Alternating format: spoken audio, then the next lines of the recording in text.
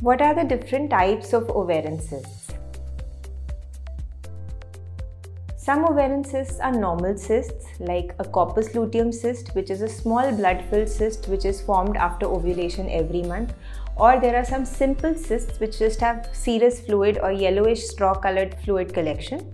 There could be some hemorrhagic cysts which are blood filled cysts or endometriotic cysts which have um, some tissue which is similar to the lining of the uterus. There are some cysts with a solid component also like a dermoid cyst which could have some hair or some teeth like tissue and there are some solid cysts which could be risky cysts which have some solid components which could be having a risk of cancer also.